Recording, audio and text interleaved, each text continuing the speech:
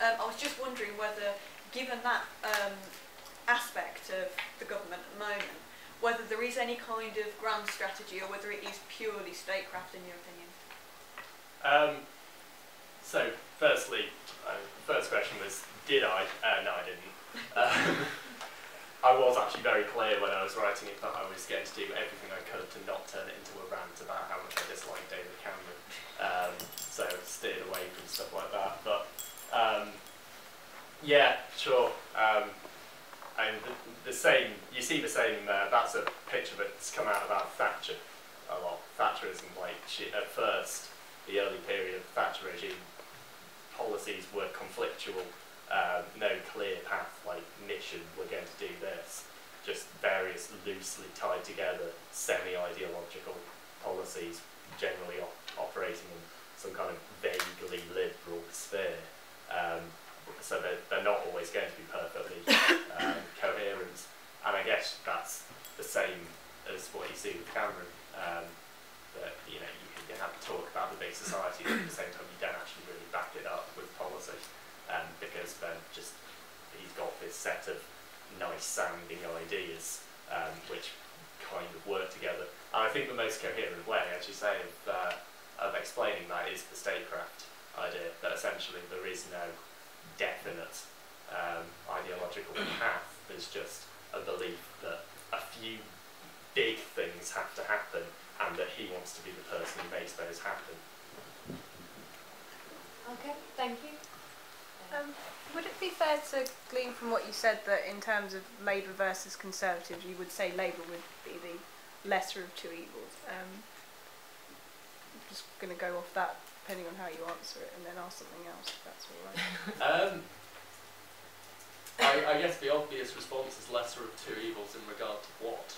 Um, um, uh, the, the, the thrust of what I was saying is that Cameron is lying to us when he said, or not lying, but I, I can't know whether he knows that he's misleading us. He's probably brought the Telegraph line mm. that Labour were massively fiscally irresponsible, which is actually, when you look at the graph and you see the massive troughs, that's your first impression until you actually like cut, cut it back and extrapolate it forwards and see where we would right. be if it wasn't for the crash. So I don't know if Cameron is necessarily lying, but the point is that Cameron's message isn't true.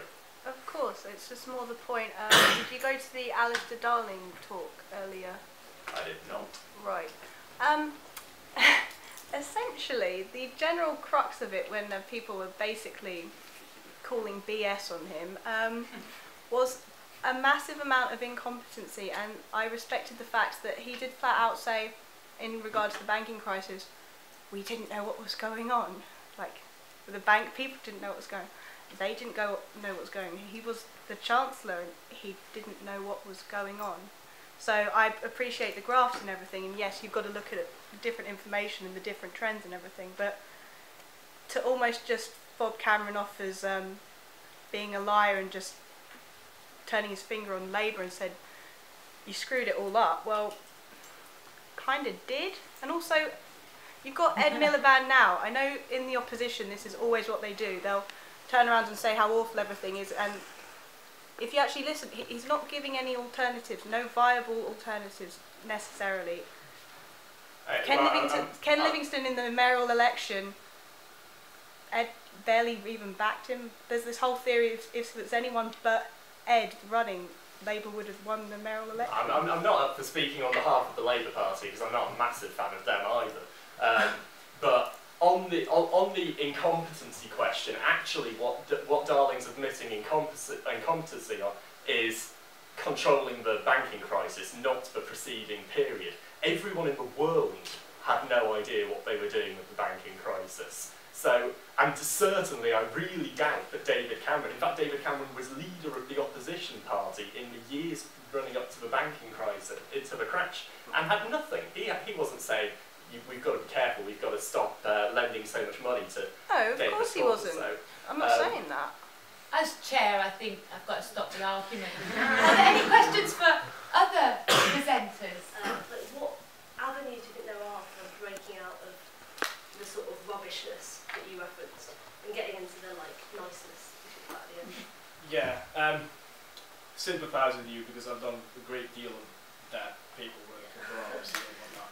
And uh, it does make me angry that it takes so long to extend the library hours and that we spent so many years to do that when instead it seems quicker to be able to support and make uh, Reclaim the Guild campaign successful to make changes which are then going to allow a whole set of changes similar to those to happen relatively quickly, right?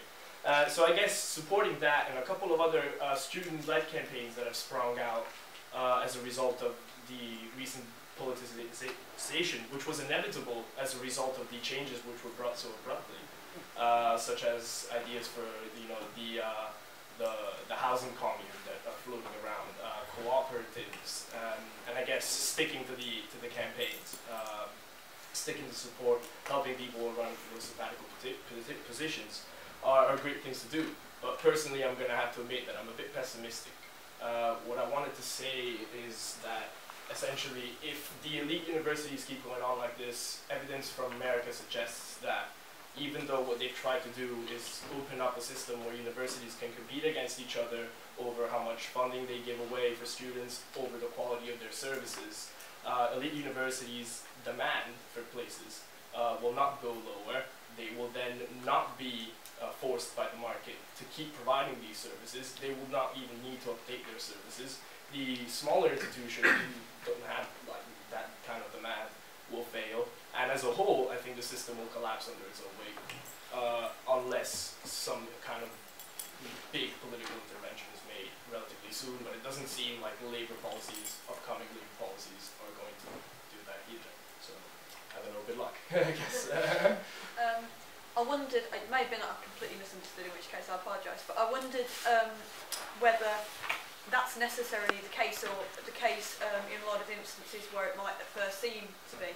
For example, um, quite often you get the claims that public opinion has changed policy or necessitated a U-turn. And quite often, you know, you get this sort of tabloid campaign, especially like The Sun, and it'll be government listens to The Sun readers. And actually, no, government listens to the media. And so I don't know whether you could argue that the media just reflecting um, public opinion at the time or whether it's actually influencing it.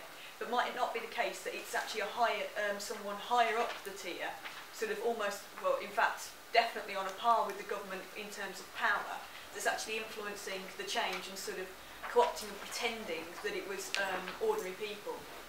Yeah, so I can certainly see where you're coming from, and there are two kind of responses I have. The first is a lot simpler, um, so I'll start with that one. So um, coming from a slightly more left-wing perspective, which sorry is where I come from, but um, like I, I would say that because of the very nature of those tabloids, uh, they're out there to make money. It's a capitalist game, and that therefore they're going to try and reflect what the public want, or at least try and do something that's going to frame the public mood, uh, because that's how they sell copies. And I'd argue that potentially that might be one uh, like influence on why they put those headlines out there. But I think the more important thing in this debate, which may be where the slight misunderstandings come from, is that um, actually um, what I was arguing is that through this increase in online media use and a slightly more pluralised thing, there's argument with Baron Drezner's article, which I, I, can email you if you like, um, is, is really important because it talks about how that those those online media usage and, and that kind of more pluralised media is able to frame the debate, so they're able to limit what we talk about. So that's that kind of third Lukes' idea.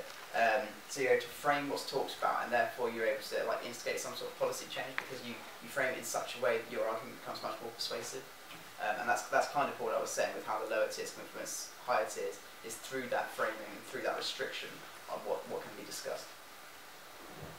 Okay, thank you. Thank you, panel.